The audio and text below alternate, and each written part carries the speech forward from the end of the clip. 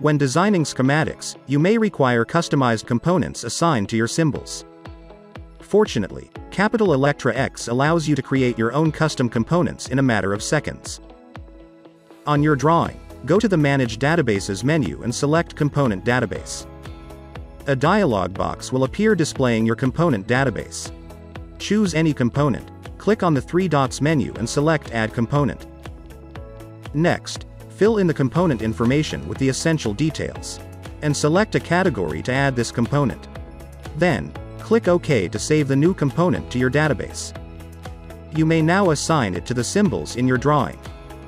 Additionally, you may create a new category for your components by selecting Add Category in the Component Database dialog.